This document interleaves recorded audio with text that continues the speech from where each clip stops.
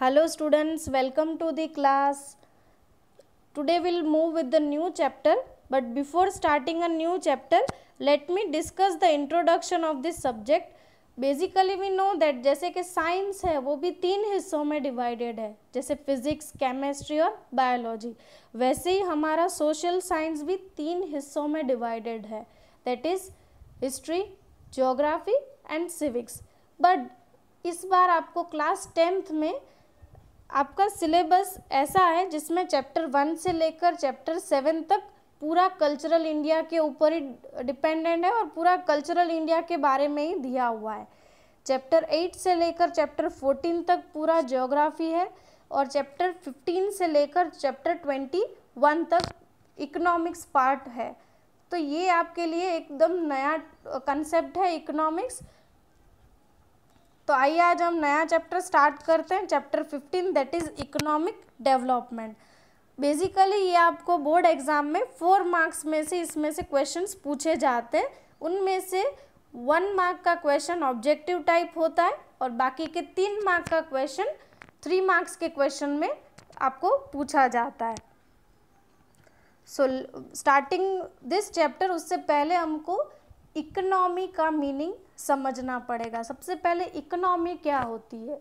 तो अगर मैं अभी का जो एग्ज़ाम्पल दूँ तो वी नो दैट कि पैंडामिक कोविड नाइन्टीन की वजह से हमने ये बार बार सुना हुआ होगा, या तो न्यूज़ में सुना होगा, या तो किसी और ने बताया होगा, या तो हमारे पेरेंट्स डिस्कस कर रहे होंगे कि इस बार हमारे देश का इकोनॉमी बहुत इकोनॉमिक कंडीशन है, वो बहुत ख़राब हालत में है। मतलब हमारे देश की इकोनॉमी इस बार बहुत बुरी हालत में तो इसका मीनिंग क्या होता है? इकोनॉमी होता क्या है? तो सबसे पहले इकोनॉमी अगर हम सिंपल सेंस में मैं आपको बताऊँ तो इकोनॉमी मतलब रिलेटेड टू मनी। मनी के रिलेटेड कोई बात हो, उसको हम बोलते हैं इकोनॉमी। आफ्टर दैट चैप्टर का नाम है हमारा इकोनॉमिक डेवलपमेंट। तो सबसे पहले उसका भी मीनिंग जान लेते हैं। इकोनॉमिक डेवलपमेंट क्या होता है? So economic development means constant increase in national income of a country ये डेफिनेशन बहुत ही इंपॉर्टेंट है, आपको वन मार्क में भी आ सकता है। या तो फिर आपको थ्री मार्क्स में एक सब क्वेश्चन डालकर भी ये पूछ सकते हैं। तो इकोनॉमिक डेवलपमेंट क्या होता है? Constant increase in national income of a country हमारे देश के सारे इंडिविजुअल या तो सारे इंसान की सैलरी या तो इनकम इंक्रीज हो रही है तो ओवरऑल हमारा जो नेशनल इनकम है वो भी बढ़ जाएगा। तो आई होप ये तो बहुत इजी था। नेक्स्ट पॉइंट पे आते हैं। Increase in per capita income of a country हमारे देश में सिंगल पर्सन की भी अगर इनकम बढ़ती है तो उसको हम क्या बोलते हैं? Development of a economic development of a nation मतलब अगर मान लो, पहले ही फ़र्स्ट पॉइंट में डिस्कस किया था हमने कि अगर सारे इंडिविजुअल्स की इनकम बढ़ती है तो ऑब्वियसली क्या होगा, पूरे नेशन की इनकम बढ़ेगी। ये फ़र्स्ट पॉइंट था। सेकंड पॉइंट में क्या था? अगर एक इंडिविजुअल की इनकम बढ़ती है तो हमारा जो इकोनॉमिक डेवलपमेंट शुरू हो जाएगा। Third point change in life of the people और change in living standard of the people अब ये चीज़ ऑब्वियस है। कि अगर हर एक इंडिविजुअल की इनकम बढ़ती है, देश की इनकम बढ़ती है तो लोगों के रहने का जो वे है, लोगों के रहने का जो लाइफस्टाइल है, वो क्या हो रहा है? चेंज हो रहा है। इसका एग्जांपल दूँ तो अगर आपके फादर की सैलरी इंक्रीज हो रही है तो आप, आपके लाइफ स्टाइल है, आप और लग्जरियस जीना शुरू कर दोगे राइट तो आपके लिविंग स्टैंडर्ड या तो आपका लाइफ स्टाइल डिस्क्राइब करता है कि आप कितने डेवलप्ड हो right so moving to next अब नेशनल इनकम तो हमने जान लिया कि नेशनल इनकम क्या होता है। एक एक इंडिविजुअल की अगर इनकम बढ़ती है तो पूरे नेशन की इनकम बढ़ती है। लेकिन हम इसको कैलकुलेट कैसे करेंगे?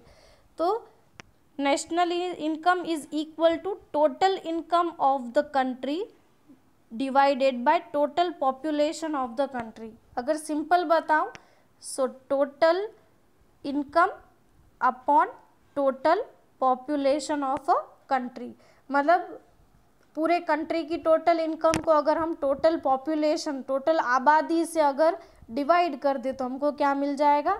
नेशनल इनकम यहाँ पर एक एग्ज़ाम्पल दिया हुआ है दैट नेशनल इनकम और ब्रैकेट में दिया हुआ है GDP GDP means gross domestic product of India was approx 87 crore in 2011-12 मतलब 2011-12 में नेशनल इनकम इंडिया की कितनी थी?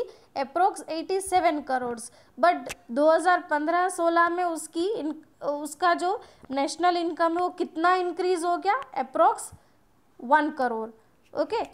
तो ये एक एग्ज़ाम्पल दिया हुआ है कि अगर हमारे देश की नेशनल इनकम है वो बढ़ेगी तो इकोनॉमिक डेवलपमेंट भी ज़्यादा होगा। Moving next difference between economic development and economic progress अब इकोनॉमिक डेवलपमेंट और इकोनॉमिक डिफरेंस इकोनॉमिक प्रोग्रेस में क्या डिफरेंस है? इकोनॉमिक डेवलपमेंट क्या होता है? क्वालिटेटिव होता है। और इकोनॉमिक प्रोग्रेस क्या होता है?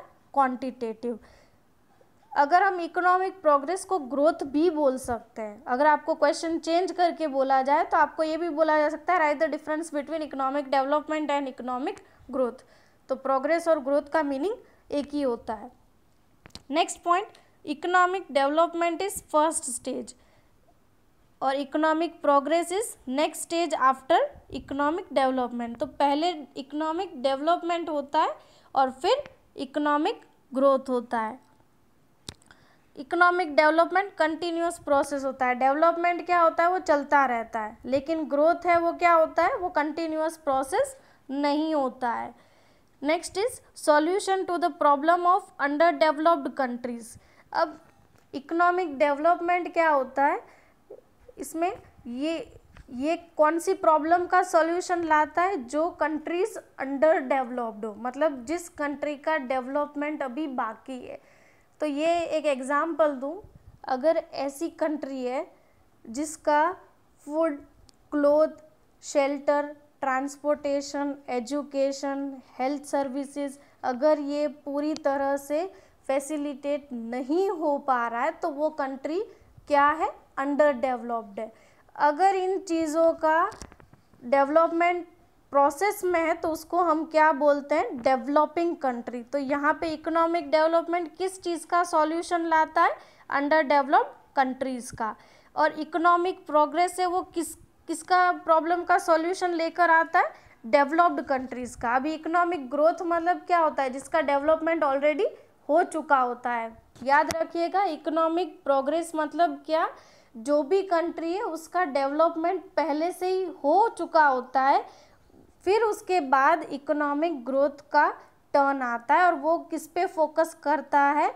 ऐसे प्रॉब्लम्स का सॉल्यूशन लाता है जो डेवलप्ड कंट्रीज़ हो already okay so moving to the next concept अब ये आपके लिए बहुत ही इम्पोर्टेंट क्वेश्चन भी आपको पूछा जा सकता है।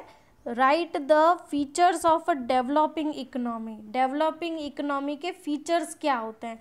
अब स्टूडेंट्स यहाँ पर पहले ही मैं बता देती हूँ डेवलपिंग इकोनॉमी मतलब क्या होता है?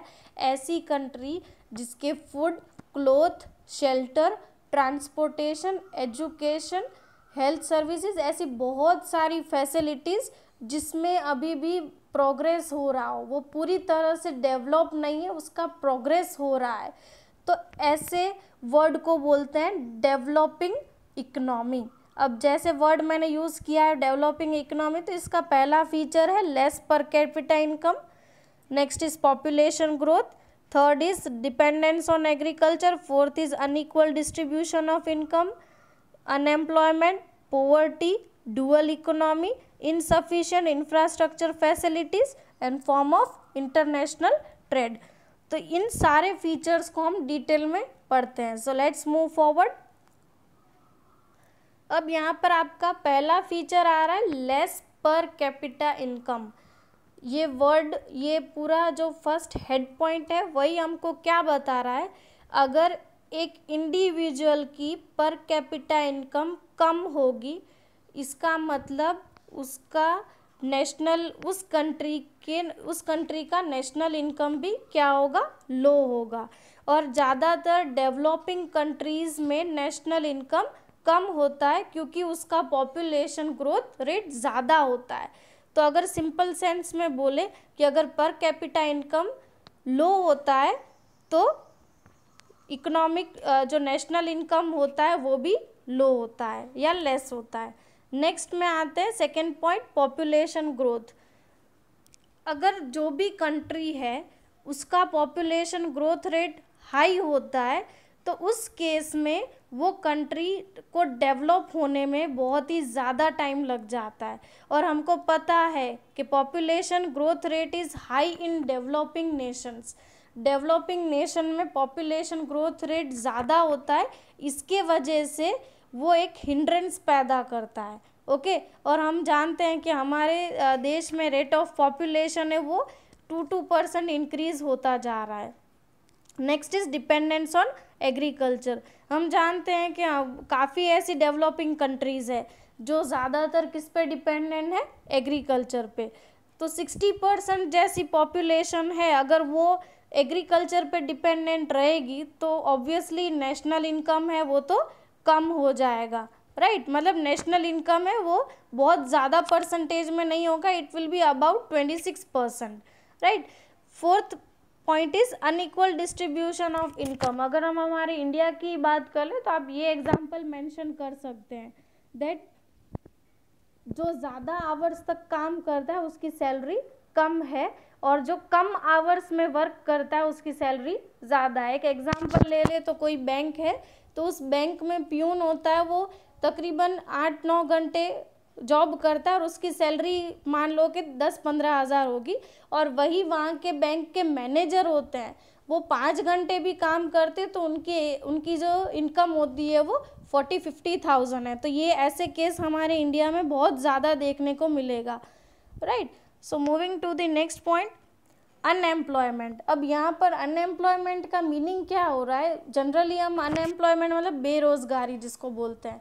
अब यहाँ पर ये मीनिंग हर एक हर एक जो इंडिविजुअल होगा, उसका ओपिनियन अलग होगा अनएम्प्लॉयमेंट के लिए। बट अनएम्प्लॉयमेंट का एक्चुअल मीनिंग क्या है? कि आपके पास एबिलिटी है, आपके पास डिग्री है, आप कैपेबल हो, लेकिन आपके पास काम नहीं है। तो उस केस में उसको हम बोलते हैं अनएम्प्लॉयमेंट जैसे यहाँ पर आपको एग्ज़ाम्पल एक दिया हुआ है seasonal employment industrial unemployment seasonal unemployment की बात करें तो जैसे कि आपका काम है, वो सिर्फ़ सीज़न के बेस पर होता है। जैसे एग्रीकल्चर की बात करें तो हर हर महीने एग्रीकल्चर का इतना नहीं होता है। सिर्फ़ दो तीन महीने या तो जब उसकी फ़सल उगने वाली होती है, या फिर जब बोलते हैं ना कि फ़ार्मिंग का सही टाइम होता है। तब तक वो फार्मर्स क्या होते हैं? एम्प्लॉयड होते हैं। उसके बाद वो बेरोजगार हो जाते हैं। मतलब उनको और कुछ काम उनके रिलेटेड नहीं मिल रहा होता है। तो ये चीज़ हम हमारे देश में ज़्यादातर देख पाते हैं।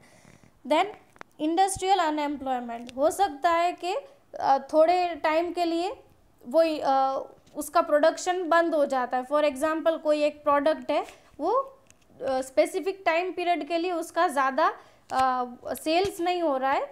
तो वो थोड़े टाइम के लिए बंद हो जाता है, क्योंकि उसकी डिमांड नहीं होती है मार्केट में। तो थोड़े टाइम के लिए ये वर्कर्स या तो जो भी लेबरर्स उस इंडस्ट्री में काम करते हैं, वो थोड़े टाइम के लिए अनएम्प्लॉयड हो जाते हैं। Moving to next point that is poverty अब पोवर्टी मतलब गरीबी, ये भी एक बहुत ही ज़्यादा सीरियस मैटर है। डेवलपिंग इकोनॉमी के अंदर एक poverty is also feature of developing economy अब पोवर्टी का मीनिंग क्या होता है? कि जो अपना फ़ूड क्लोथिंग शेल्टर एजुकेशन और हेल्थ सर्विसेज़ ऐसी बेसिक नेसेसिटी ऐसी बेसिक नेसेसिटीज़ अगर वो सेटिस्फाई uh, नहीं कर पा रहे हैं तो ऐसे लोगों को हम क्या बोलते हैं? पुअर और ज़्यादातर ये केसेस हमको डेवलपिंग कंट्रीज़ के अंदर देखे जाते हैं। आप ये भी मेंशन कर सकते हो that in developing countries poor people constitute one third of the total population. Moving to next, that is dual economy. अब ड्यूअल इकोनॉमी में क्या होता है? ड्यूअल इकोनॉमी मतलब दो टाइप की इकोनॉमी जहाँ जहाँ पर दो रोल फॉलो होता है। अब अगर हमारे देश की ही हम बात कर ले तो हमारे देश में ऐसे काफ़ी एरियाज़ है, जहाँ पर ही अभी भी बैकवर्ड फ़ार्मिंग चल रही है ओल्ड मशीनरी है वही यूज़ कर रहे हैं, वही स्टीरियोटाइप वर्क हो रहा है। और ऑर्थोडॉक्स सोशल स्ट्रक्चर जहाँ पर उत्पादन कम हो रहा है। विलेज के एरिया भी बोल सकते हैं। और दूसरी साइड ऐसी सिटीज़ है जहाँ पर मॉडर्न इंडस्ट्रीज़ है नए नए प्रोडक्शन हो रहे हैं न्यू टेक्नोलॉजीज़ है। तो मतलब देखा जाए तो ड्यूअल इकोनॉमी भी मेन रोल प्ले करता है हमारे इकोनॉमी को डेवलप करने में। So moving to the next point insufficient infrastructure facilities अगर हमारी इंफ्रास्ट्रक्चर फैसिलिटीज़ पूरी तरह से सेटिस्फाई नहीं हो रही है तो वो भी हमारे देश के डेवलपमेंट के लिए एक हिंड्रेंस पैदा कर सकता है ऑब्स्टेकल पैदा कर सकता है। Next point is form of international trade अब यहाँ पर इंटरनेशनल ट्रेड की हम बात करें, जो व्यापार है, जो दूसरे देशों से हम करते हैं अब जनरली क्या होता है? फॉर एग्ज़ाम्पल हमारे देश में जो एग्रो प्रोडक्ट्स है, या तो फार्म प्रोडक्ट्स है, या तो मिनरल ओर्स है, वो अगर बाहर एक्सपोर्ट करें तो हमको वहाँ से इनकम कम जनरेट हो रही है। लेकिन हम कहीं बाहर से मशीनरी मॉडर्न मशीनरीज मंगवा रहे हैं, उसका जो हमको पेमेंट करना होता है, वो ज़्यादा हो रहा है। तो ये भी एक फीचर है डेवलपिंग इकोनॉमी का। तो आई होप आपको features of developing economy meaning of economic development and difference between economic development and economic progress का कंसेप्ट समझ आ गया होगा। Thank you